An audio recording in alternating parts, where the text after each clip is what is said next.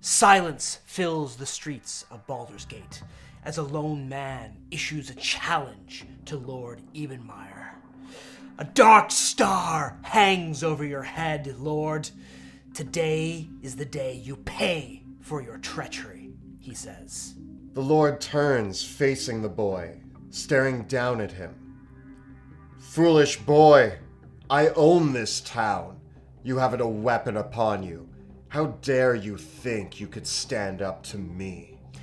As the Lord Ebenmeyer's guards close in around the man, he reaches forth, and a blade of shimmering dark magic appears in his hands.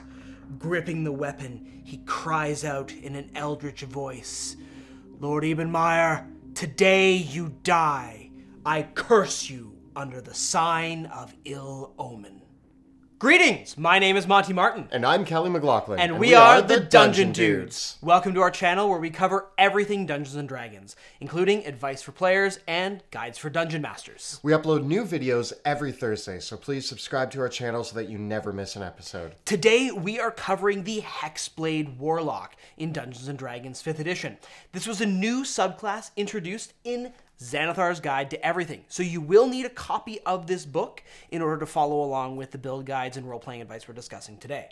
We're going to be taking a look at the Hexblade Warlock's class features, abilities, what feats you might want to take, as well as spells, Eldritch Invocations, all to help you roleplay the best Hexblade Warlock you can.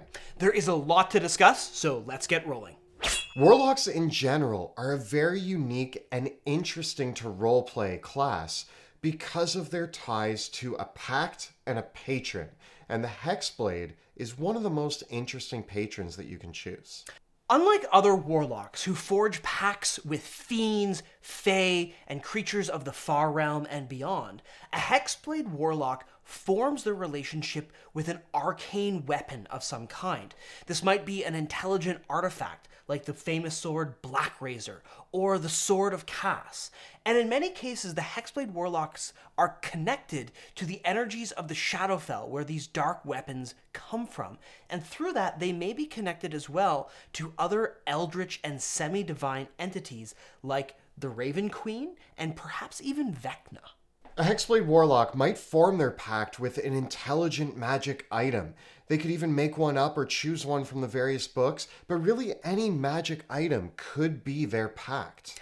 The worlds of Dungeons and Dragons are packed with nefarious, intelligent, sinister, and cursed magical items and artifacts, and this is a great entry point into the Hexblade Warlock. Perhaps your character became a Hexblade Warlock because they were living a perfectly normal life, and then they found this enchanted blade, or a strange puzzle box, or even happened upon a curious ring at the bottom of a river. I love the symbiotic relationship that occurs here. And I think of so many other famous examples of entities that take different forms. I even, being a huge Marvel fan, look at things like Venom and the relationship between those two. Venom isn't exactly a weapon, but that transition that goes from yeah. this is Venom, this is Eddie Brock to we are Venom. And eventually they get to kind of work together to control the powers that they now both have and they form that sort of bond. More so than just being a symbiotic relationship with your warlock patron as in Venom, in the Hexblade Warlock, we have the symbiotic relationship between sword and spell, which is a really, really satisfying and fun playstyle to be that character that can go in sword swinging and then also spell slinging. It's something that so many people have been asking for in Dungeons and Dragons 5th edition for a while. And there have been a few examples that kind of touch on this, but honestly, none of them are quite as precise as the Hexblade Warlock. You are a primary spellcaster, but the Hexblade gives you options that allow you to pick up a sword or other weapon or in some cases, even a bow or ranged weapon, and build your character around combat in that sense, rather than just focusing on spellcasting. The awesome role playing potential and the really unique playstyle, I think, are the hallmarks of why you would want to play a Hexblade Warlock. I think another really big attraction to the subclass is the fact that it is a charisma based caster class, which makes role playing a great option for you. You really get to engage in the social dynamic of that character. And so playing a Hexblade Warlock really makes you feel like you get to have it all. Because you get to fight in melee combat, you get to wield spells, you get to be that social force in the party as well. You really get a little bit of everything, but the class does still have some weaknesses behind it. For anybody who's played a Warlock out there, one of the biggest hardships of playing a Warlock is the spell slots that you get. Warlocks use the Pact Magic spellcasting method, which differs from the methods of spellcasting used by other spellcasters. They regain their spell slots back on a short rest, which can be a pretty big advantage. The trade off from this is a limited number of spells known, and the fact that for most of that Warlock's career, they only have two spell slots, only gaining a third spell slot at 11th level and a fourth spell slot at 17th level. With these limited spell slots and the limited amount of spells known, if you add onto that the Hexblade Warlock's spell list that they get, it's not as good as some of the other options for Warlocks out there. The expanded spell list is good, but by no means amazing. And many of the Hexblade Warlock's key clash features are very front loaded.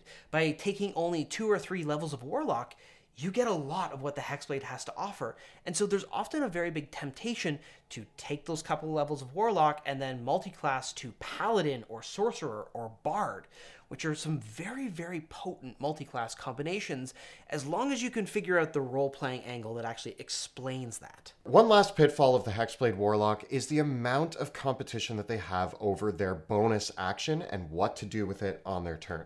And the final point is that the Warlock is a surprisingly complex class, and it requires a fair amount of planning in choosing your feats, spells, eldritch invocations, and more. Which is why we don't generally recommend the Warlock to new players, because the character building elements of it are so much more complex. All in all, the Hexblade Warlock is still a surprisingly versatile and fun character to play at the table. But what are some of the key class features and abilities that we're going to want to be aware of if we're choosing this subclass? So when we flip open to the Hexblade Warlock features, like all Warlocks, you have to choose to be a Hexblade right away at first level. So unlike the other classes that get to pick their subclass at level 3, Warlocks have to commit right, right away. But you immediately gain some benefits. The first one is the expanded spell list, which includes some new spells that you can choose to learn, including spells like Shield, Blur, Blink, and Banishing Smite, which is actually really good. But you also gain the Hex Warrior trait, which has a few really key properties. At first level, you acquire the training necessary to effectively arm yourself for battle. You gain proficiency with medium armor, shields, and martial weapons. The influence of your patron also allows you to mystically channel your will through a particular weapon. When you finish a long rest, you can touch one weapon that you are proficient with that lacks the two handed property. When you attack with that weapon, you can use your charisma modifier instead of strength or dexterity for the attack and damage rolls. The really cool perk, though, is that if you later choose the Pact of the Blade, this class feature then applies to any pact weapon you conjure using the Pact of the Blade. So you could have a bow, a halberd, a greatsword, or any two handed or ranged weapon as your pact weapon, and then make your attack and damage rolls with it using your charisma score.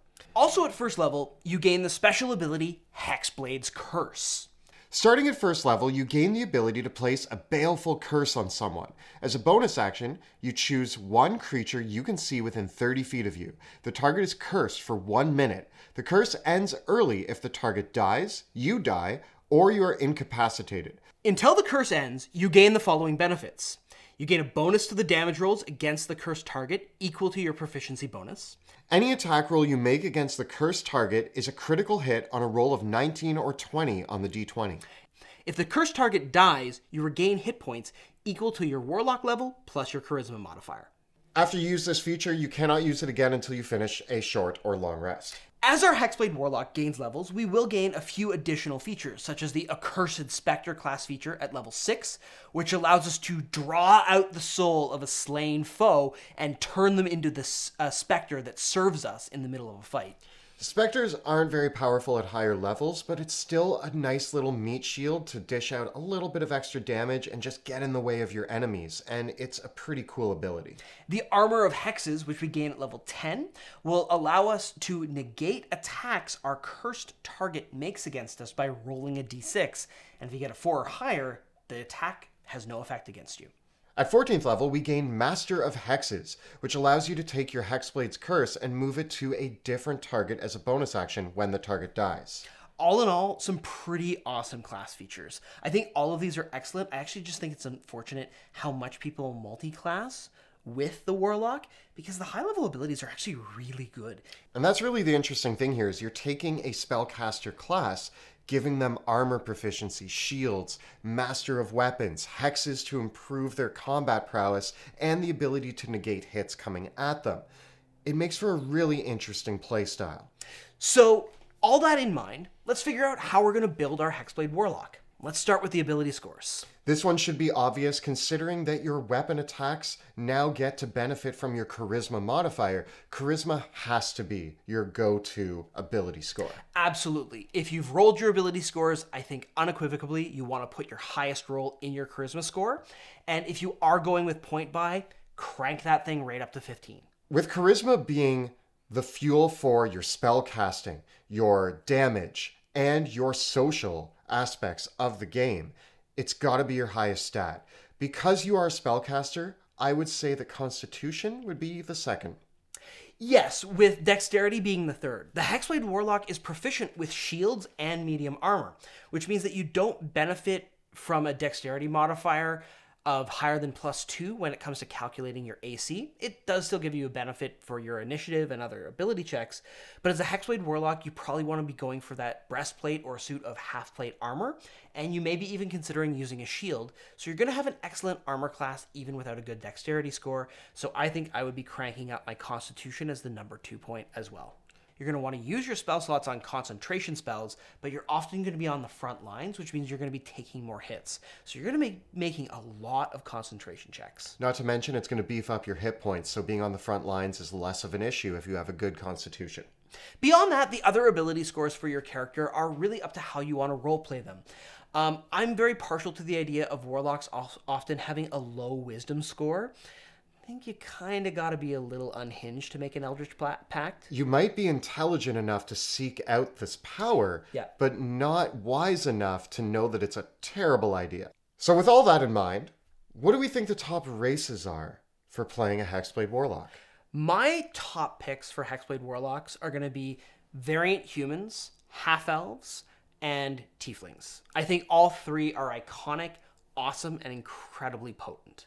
I completely agree with you, and I actually have the same top three picks. But in the interest of being different, I'm going to go with Halflings, uh, which could be a really, really fun role play, Tabaxi, or Aasimar. or Aasimar?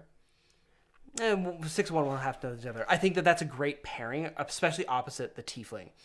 All of these races have a bonus to their charisma score, which is the main thing that we're looking for because the Hexblade Warlock relies on that so heavily.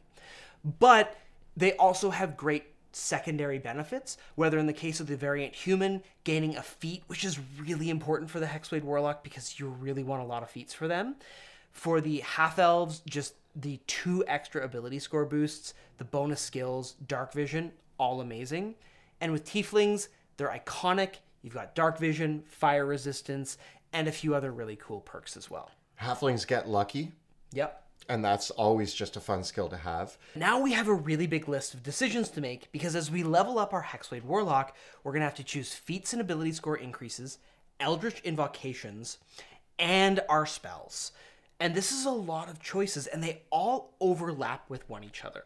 So, what we've done is Kelly and I have both built our own Hexblade Warlock.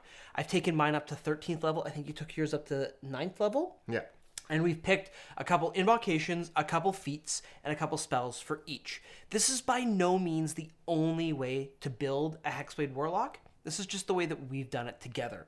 And I think we started though with the same base because I think we both took the same feats. I think we almost built the same character, and then I, I, decided to diverge a little and yeah. try to mix things up a bit. So I went with a variant human for my Hexblade Warlock, and I took Polearm Master right off the bat. I did a tiefling, and I also took Polearm Master because it's just such a good combination. As I leveled up my Hexblade Warlock, I picked up Great Weapon Master right away, and then I continued on to max out my Charisma score. And then when I want to, I'm going to take Warcaster at some point in there. But it's actually really hard to decide how and when to take all those feats and when to boost your charisma up to the max. So there's a couple different approaches, but those were my main three Warcaster, Polearm Master, and Great Weapon Master, and then boosting up my charisma score as high as I could get it. I played a tiefling, so I didn't get that feat right away. Yeah. So I did miss out on that, but my character was very much about using a glaive in combat as their hexblade weapon. The only other feat that's really important to mention here, if you're playing a half elf or an elf or a eladrin or a drow, which actually all make really good hexblades too, would be elven accuracy. Because hexblades have some nice tricky ways of getting advantage on their attack rolls, and then you can really make elven accuracy work for you in that case. If you do decide to go with a ranged combat version of the Hexblade Warlock, Sharpshooter is an excellent feat to look at, and it works really well with the Elven accuracy. The one thing to be careful of is a lot of people like to pair Sharpshooter with Crossbow Expert, but the hand crossbow is excluded from the list of options for the Hexblade Warlock's pact weapon. Even when you take the improved pact weapon invocation, the hand crossbow is still not an available option. This is probably something that I would house rule as a DM and allow. I don't think it's a huge problem, but it's worth noting if you're trying to play an Adventurers League character or if you've got a very strict dungeon master that that's actually not a choice. So now let's talk about the spells that each of us picked for our Hexblade, and I think we went very different routes here. Uh, what were the three cantrips that you went with? Uh, I went with Eldritch Blast, Mage Hand, and Minor Illusion. Those are all excellent choices. I went a little bit of a different route, and I went with Lightning Lure, Prestidigitation, and Minor Illusion. The Hexblade Warlock is an excellent candidate for the new spells that were introduced in the Sword Coast Adventurers guide, like Green Flame Blade and Booming Blade as well. Just be aware that with some of these, it's difficult to use them with reach weapons because they specify a range of five feet. So if you are planning on going with a pole arm with something like Booming Blade, recognize that Booming Blade actually has a range of five feet, so you can't use it with a reach weapons reach attacks. For myself, the choice of lightning lure was the option to pull enemies closer to Yeah. me. With if we have polearm master, I can then pull them within ten feet of me, and then they're within my range. So that was a really fun choice. I also wanted to avoid Eldritch Blast, even though it's obviously one of the best choices you can have. But if I'm building a character who's designed to get into combat, I wanted to avoid falling back too much on my awesome ranged cantrip. The reason why I want to have Eldritch Blast as a Hexblade is because there's lots of flying enemies, or there's lots of times when you might not be able to get up to the enemy that you want to strike, and being able to toss out a couple quick Eldritch Blasts, get some damage in there, can be really, really useful in a clutch situation. For my Hexblade Warlock, I chose a mixture of utility and damage dealing spells. I chose Hex, Shield, Invisibility, Darkness, Hypnotic Pattern, Counterspell, Thunderstep, Scrying, and Synaptic Static. I also am going to take the Eldritch Invocations for Sculptor of Flesh and Sign of Ill Omen, so I can cast Polymorph and Bestow Curse. So for my spells, I picked Blink, Branding Smite, Counterspell, Dimension Door, Hex, Hunger of Hadar, Major Image, Shadow of Moil, and Summon Greater Demon. And because I'm a tiefling, I also get Darkness and Hellish Rebuke. I just find that as a warlock, you really want those multifunctional spells. They're really good concentration spells that are going to give you the most bang for your buck for your limited spell slots, or the spells that kind of operate as Swiss army knives. So now that we've looked at our feats and spells, we want to pair these really nicely with our Eldritch Invocation choices. And there's a lot of awesome invocations to choose from. Yeah, I think there's over 40 now when you include the ones that were added in Xanathar's Guide to Everything. And while there are a couple level requirements for each, generally speaking, you've got a bunch of invocations that can augment Eldritch Blast, a few that augment the Hexblade playstyle, and then a bunch more that give you lots of quirky abilities or grant you expansions to your spell list. So for myself, I chose the following Eldritch invocations Devil's Sight, so that I can see normally in darkness, both magical and non magical. I chose Improved Pact Weapon, so that I can use my Pact Weapon as a spellcasting focus, but also augment it with a plus one bonus to attack and damage rolls. Next, I chose Thirsting Blade, which I think is a must have for all Hexblade Warlocks with the Pact of the Blade, as this one will allow you to attack twice with the attack action on your turn. I also then chose the Sculptor of Flesh invocation to let me cast the Polymorph spell, and the Sign of Ill Omen invocation so that I could cast Bestow Curse. Finally, once my Warlock reaches 11th level, I'm going to take the Life Drinker invocation so that when I hit a creature with my pact weapon, they take extra necrotic damage equal to my charisma modifier. So I also took improved pact weapon and thirsting blade. I would consider those and life drinkers absolute must-haves for the Hexblade Warlock. They're such good choices, and I think any Hexblade Warlock would benefit from them. The rest of my choices, though, were a little bit different than yours.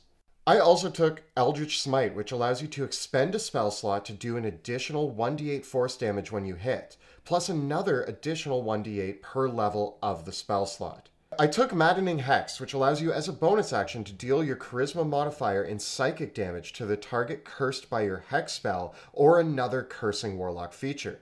And I took Relentless Hex, which allows me as a bonus action to teleport up to 30 feet to an unoccupied space within 5 feet of a target cursed by my hex or another cursing warlock feature. So I really designed my character about being able to move around the battlefield. I love this idea of a warlock who can just disappear and reappear next to his enemy. Mine is built a lot around the hex spell and manipulating that. My character is much more aggressive in their in their playstyle. My character is based on casting the darkness spell on themselves, taking advantage of Devil's Sight and wading into melee combatant and making a bunch of attacks with advantage.